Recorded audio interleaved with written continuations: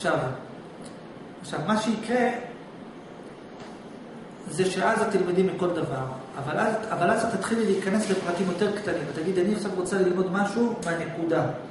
אני רוצה ללמוד משהו מהחיידק שזז פה. אני רוצה ללמוד מכל דבר, ושלא יהיה אפילו דבר אחד שיעבור לי בראש, אני לא אחבר אותו אליי.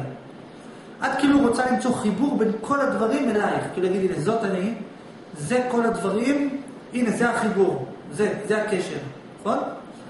הקשר, נכון, זה מה שאת רוצה בסוף. אבל הקשר הוא לא מוגדר. הוא כלום.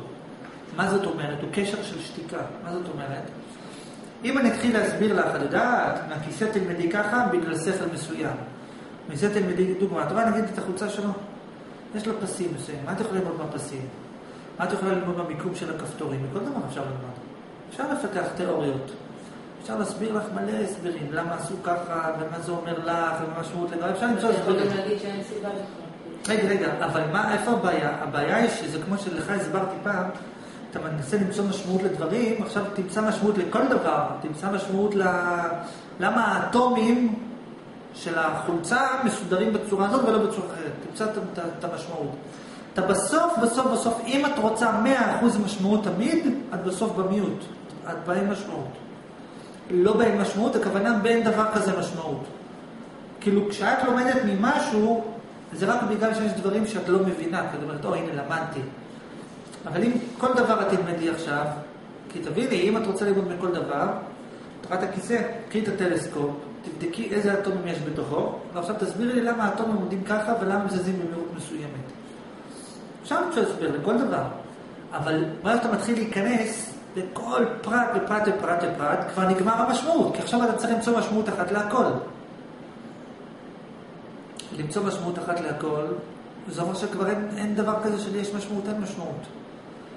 מה שאני בעצם, הבנת? כן, זה- הבנת? זה פרספקטיבה אחת. נכון שהיא לא מוגדרת בעצם.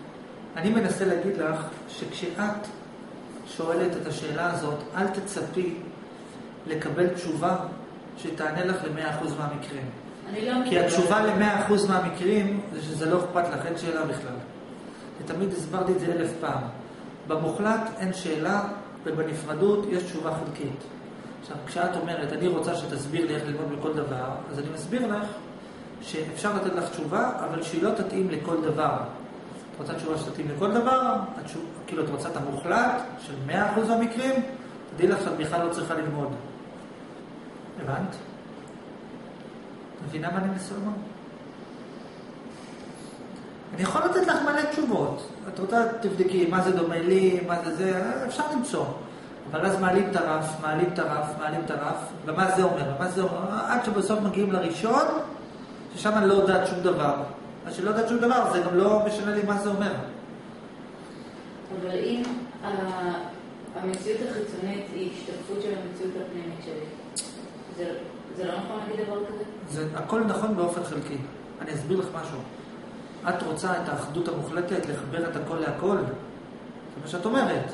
אז אני רוצה, תראי, כשמישהו אומר, אני רוצה לדעת איך אני לומד מזה, הוא בעצם אומר, אני רוצה להיות באחדות עם זה.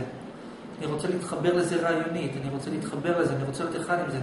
האחד המוחלט הוא גם, הוא גם אה, שתיקה. את רוצה להיות באחד עם הכל? תבדקי מה את יודעת, ותראי שבמכה אחת את אחד עם הכל. תשאלי את עצמך, מה אני יודעת בכל דבר שקורה לך? תשאלי את עצמך, אני בטוחה אם זה קרה? תראי שכל הדברים יביאו אותך לחלל של אלוהים.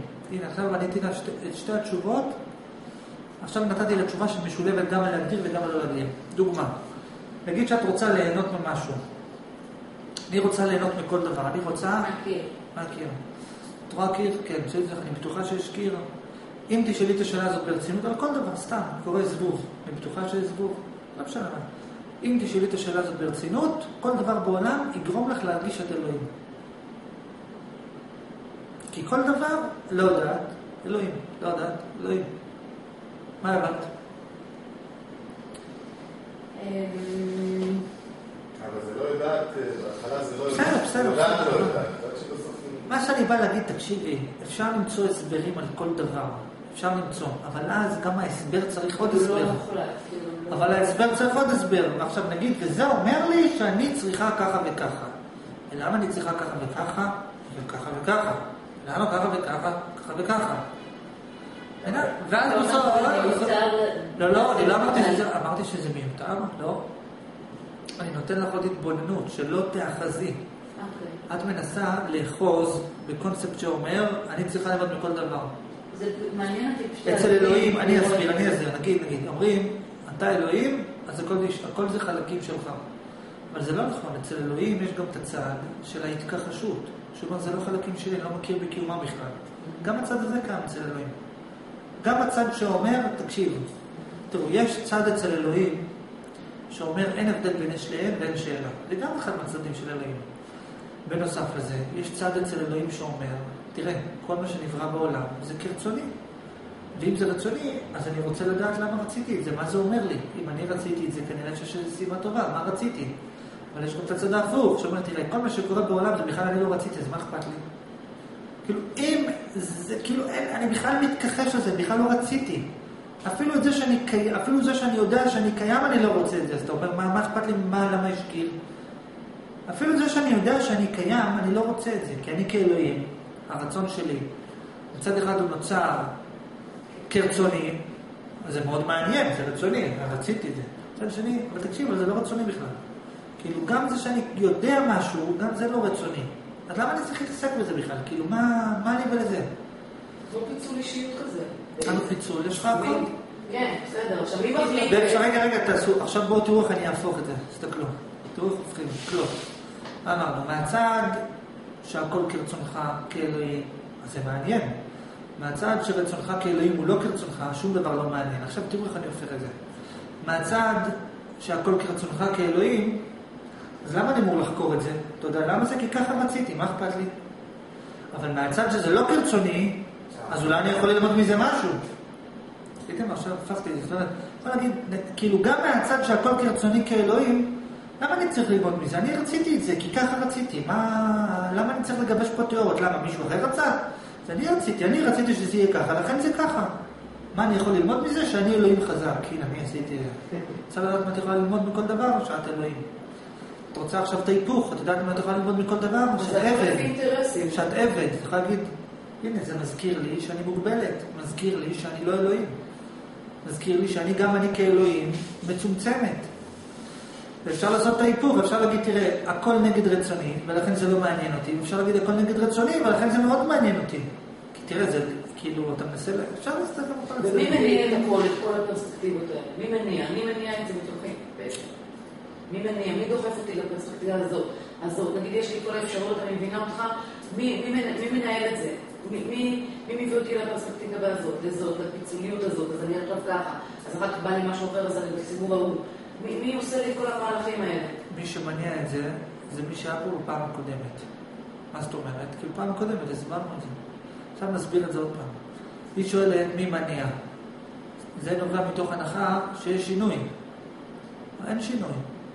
יש אחת כזאת, יש אחת כזאת, יש אחת כזאת, ועכשיו כולן קיימות. זה למה? שזה במקביל, את אחד מהם.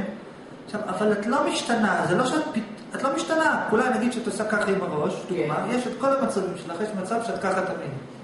מצב שאת תמיד ככה, מצב שאת תמיד ככה, מצב שאת תמיד ככה. מה עכשיו, זה תמיד, לא, את לא מקשיבה. זה תמיד, תמיד. את רואה את היד פה? כן. לפני שלוש, שלושה טריליון שנה, היד הזאת הייתה פה, וגם שלושה טריליון שנה לפני כן הייתה פה. תמיד, עכשיו גם פה היא הייתה.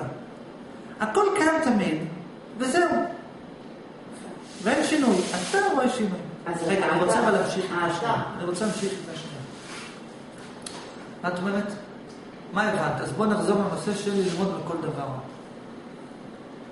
תראי, אני אז מסביר עוד פעם, יש שני צדדים, יש את הצד של השכל ויש את הצד של מחוץ לשכל. מחוץ לשכל אין שאלה, ובשכל יש תשובה אבל לא מוחלטת, זה מה שאני מנסה להסביר לך. אוקיי. לא. לא, לא, לא, לא, אבל צריך לעשות תיאום ציפיות. כי עד ששאלת, כאילו רציתי, תן לי את התשובה, הנה זאת התשובה. לא, אין את זאת התשובה, את רוצה את התשובה המוחלטת, אין שאלה. אני רוצה סוג של כיוון, כאילו, איך אני מביטה, איך אני מתבוננת סוג על של זה. כיוון. איך אני מתבוננת על זה, איזה שאלות אני יכולה לשאול. כן, יכולה זה יותר מדויק, לא איך אני מתבונן, איך אני מתבונן זה כאילו מה אני צריכה לעשות, את לא צריכה. איך את מתבוננת? בואי ניקח דוגמה, נגיד כיסא, בואי אוקיי. נגיד כיסא, מה, מה אני יכולה ללמוד מהכיסא, בסדר? אז איך יודעים מה את יכולה ללמוד מהכיסא? לך הסברתי את זה פעם, כשנסענו לאיפשהו, אמרתי לך לעמוד. עכשיו בואו נתקדם. אמרתי לך, אני מסביר. קודם כל, תבדקי מה אני יודעת על הכיסא. מה את יודעת על הכיסא? תראי, אני אסביר, בוא נחדד את זה. אם אתה רואה כיסא ואתה לא יודע עליו שום דבר, אתה יכול ללמוד מזה משהו? לא. למה לא? כי אתה אפילו לא יודע שזה כיסא. נכון? אם את לא יודעת שום, מה זה? אם את לא יודעת שום דבר על זה,